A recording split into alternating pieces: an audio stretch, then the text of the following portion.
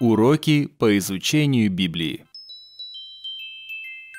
В послании к Ефесянам в пятой главе, в 21 и 22 стихах мы читаем «Повинуйтесь друг другу в страхе Божьем.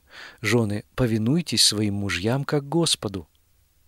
Жизнь христианина не должна расходиться с его словами. В 1998 году южные баптисты провели свой всеамериканский съезд в Солт-Лейк-Сити, штат Юта. Взбудоражены были все средства массовой информации. Во-первых, они ходили по домам. Солт-Лейк-Сити является родиной мормонов, которые известны тем, что сами ходят по домам. На этот же раз стучали в двери их домов. Они были шокированы.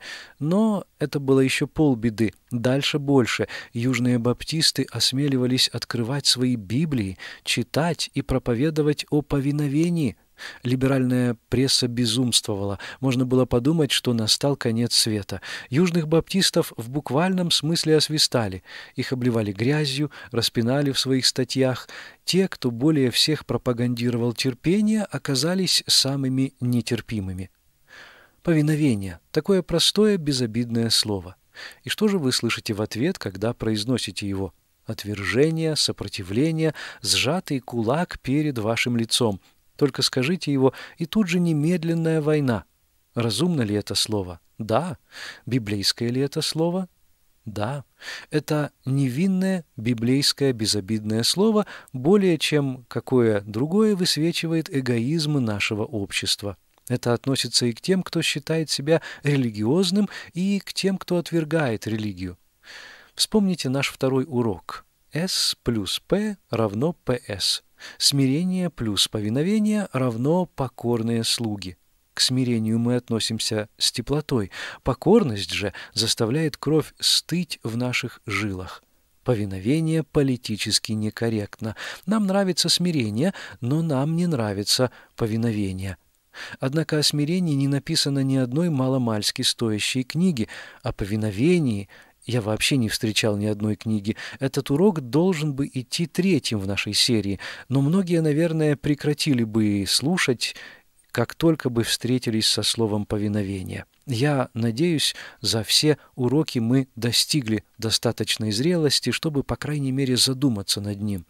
Смирение — это средство, а не конечная цель. Вы смиряетесь, чтобы повиноваться.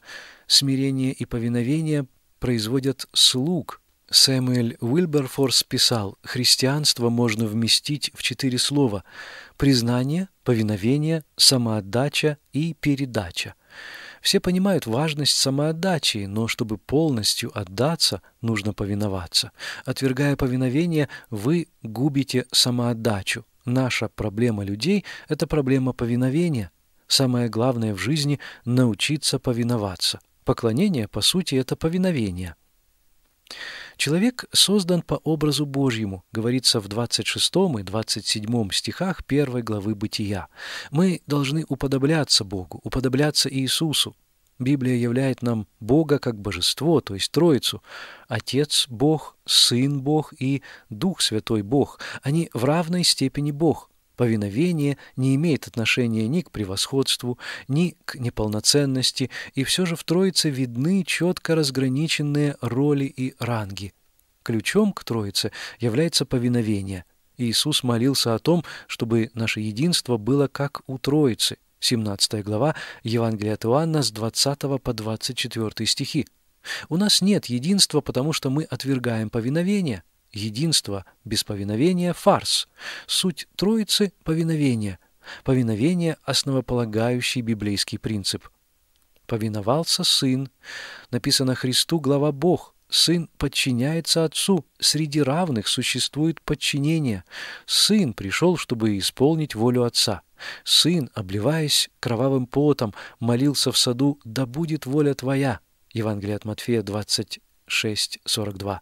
Прежде чем стать прославленным, Иисус должен был повиноваться. Филиппийцам 2 глава с 5 по 11 стихи.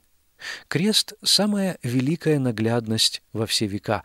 У Иисуса был крест, у меня есть крест. Он понес свой, я должен нести свой. Вот это абсолютное, вечное утверждение, сделанное Писанием Хочу также, чтобы вы знали, что всякому мужу глава Христос, жене глава муж, а Христу глава Бог. 1 Коринфянам 11 глава, стих 3. Мы должны принять это. Повиновался Дух Святой. Он, так сказать, закулисный член Троицы, и роль его анонимна. Иисус дал нам Духа. Евангелие от Иоанна, 14 глава, 16 и 26 стихи, а также 16 глава, с 7 по 15 стихи. Все, что Иисус обещал апостолам, было исполнено в Духе. Роль Духа состоит в прославлении Сына.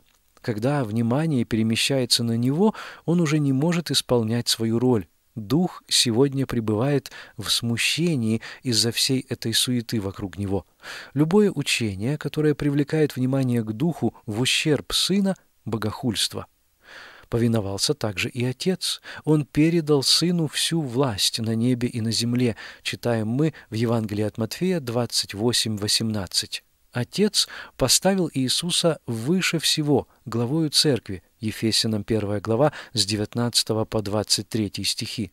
Сын правит одесную Бога, говорится в послании к евреям 1.3, первом послании Петра 3.22 и в Деяниях 2 главе с 34 по 36 стихи. Выражаясь по-земному, Отец передал дело Сыну. Когда смерть истребится, Иисус передаст царство обратно Отцу. Об этом мы можем прочитать в первом послании к Коринфянам, 15 глава, с 24 по 26 стихи. Слово «царство» требует повиновения. Троица существует в повиновении. Ключом к жизни является повиновение и точка. Все мы повинуемся чему-нибудь. Мы можем и не знать этого, мы можем не признавать этого. Чтобы поставить людей на ноги, нужно опустить их на колени. «Итак, покоритесь Богу», — сказал Иаков в своем послании в седьмом стихе четвертой главы. Человек свободен выбирать себе господина. Мы можем выбрать Бога или сатану, Христа или себя. Наш выбор имеет последствия – благословение или проклятие. Нас шокирует, когда какая-нибудь знаменитость умирает от передозировки наркотиков. Это случается потому, что этот человек покорился наркотикам. Нас могут подчинить деньги, секс, гордость, политическая корректность, работа, хобби, глупость или праведность. Подчинение не обязательно таит в себе угрозу, оно может быть нашим величайшим благословением. Подчинение может освободить, а может и поработить подчинение может быть мудростью или глупостью. Когда мы подчиняемся чему-то одному, мы отвергаем другое. Если вы холостяк, то значит не женаты. Выбирая для себя брак, вы прощаетесь с холостяцкой жизнью. Насилие сейчас так распространено, потому что мы не дали молодым людям дело, которому бы они подчинили себя. Человеку нет удовлетворения, пока он не подчинился чему-то или кому-то. Пусть это политически некорректно, зато библейски корректно. Иисусу угоден лишь один ответ – повиновение. Никто не бывает в полном смысле слова «свободным». Общество требует повиновения. Почему вы ведете машину по правой стороне дороги и останавливаетесь на красный свет светофора? У общества есть права. Права общества выше прав личности – вот объяснение буйству насилия в нашем обществе. Мы так увлеклись правами отдельного человека, что общество потерпело кораблекрушение. В спорте есть команды, игроки должны подчиняться команде, тренеру, играм. Мы с глубокой грустью наблюдаем, как талантливейшие игроки терпят поражение, иногда сокрушительное, потому что не могут играть в команде. Великие игроки – это командные игроки. Вот почему всякие измы неправильны и вредны. Шовинизм – это плохо, расизм – это плохо, феминизм – это плохо. Радикальные феминистки ненавидят Бога, человека, религию, женщин, брак и детей. Их озлобленность пугает, их так называемая свобода поработила их же самих.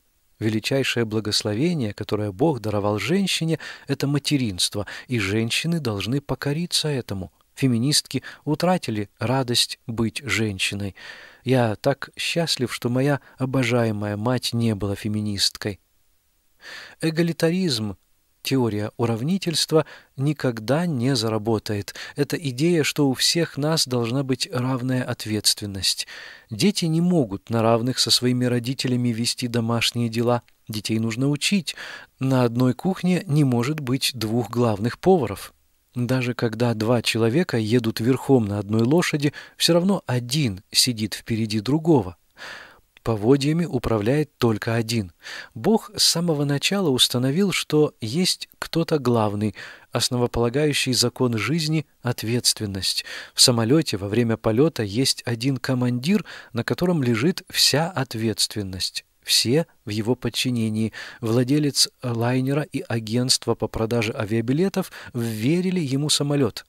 Президент Соединенных Штатов Америки летает на самолете Air Force One. Вступив на борт самолета, он подчиняется пилоту во всем, что касается полета. Руководители должны передавать какие-то полномочия другим, но передав их, они должны подчиняться. Подчинение – главное в руководстве. Кто не передает полномочий, тот ограничивает себя только той областью, где он может повелевать. Подчинение добровольно, оно не бывает насильным. Подчинение для сильных, а не для слабых. Подчиняться не значит уходить от ответственности. В послании к Ефесянам в 5 главе в 21 и 22 стихах слово «повиноваться» взято из военной лексики. В лагерях для новобранцев армейская муштровка учит повиновению – Власть принципиально важна, уважать власть принципиально важно. Мы повинуемся Богу, церкви, правительству, закону, обществу, родителям, учителям, старшим по возрасту, да, всем. Все мы находимся в чем-то подчинении. Если общество осознает это, даже наши школы будут в безопасности. Без подчинения нет армии. Бог установил, чтобы мужчина обеспечивал духовное руководство в семье и в обществе. Божью воспитательную систему можно коротко выразить одним словом мужчина. Отцы, не раздражайте детей ваших. Читаем в послании к Ефесянам, 6 глава, стих 4. Отец отвечает перед Богом за свою семью. Давайте посмотрим, что говорит о браке инструкция пользователя, то есть Библия. Прочтите «Бытие», первые три главы о сотворении жизни и семьи. Бог сотворил мужчину первым. Мы не знаем почему, но Он создал так. Бог создал женщину из мужчины. Бог сотворил мужчину и женщину, чтобы они жили в общении с Ним – Бытие открывает нам, что женщина была создана для мужчины, женщина была создана из мужчины, женщина была приведена к мужчине, женщина получила от мужчины имя, и женщина пленила мужчину. Мужчина и женщина – два самых разных существа на свете. Только Бог мог взять этих двоих и сделать их одной плотью. Бытие 2, 24 и Матфея 19 глава 5 стих. Брак не будет успешным без подчинения, говорится в послании к Ефесянам в 5 главе с 22 по 33 стихи. Иисус подчинился церкви, умерев за нее, и теперь церковь подчиняется Христу, главе. Мужья всецело подчиняются требованиям семейной жизни. Жены радостно подчиняются своему подчинению – Супружество – это обоюдное повиновение. Мужчины и женщины были созданы друг для друга. Им лучше вместе, чем порознь. Мужчина с мужчиной или женщина с женщиной – это извращение. Мой отец говорил мне, женись на той, что лучше тебя. Я так и сделал. Моя жена лучше меня. Я научился у нее большему, чем она у меня.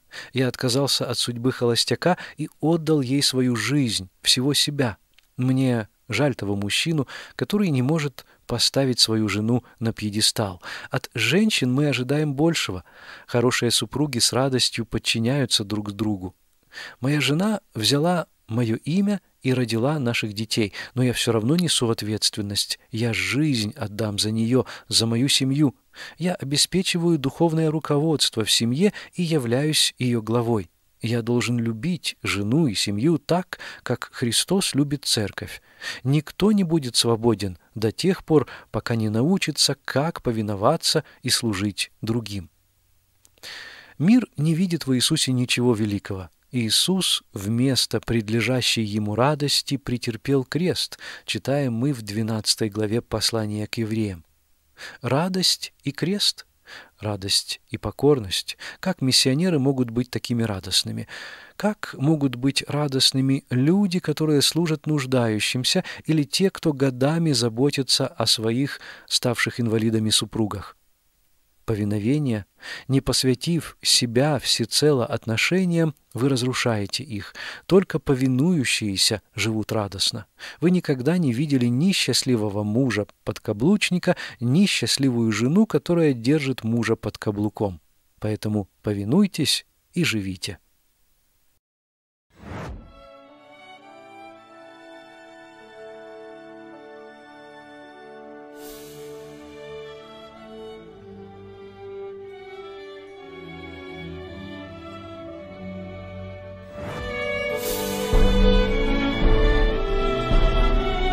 Все слайды с уроками можно найти на приложении Капли Сота.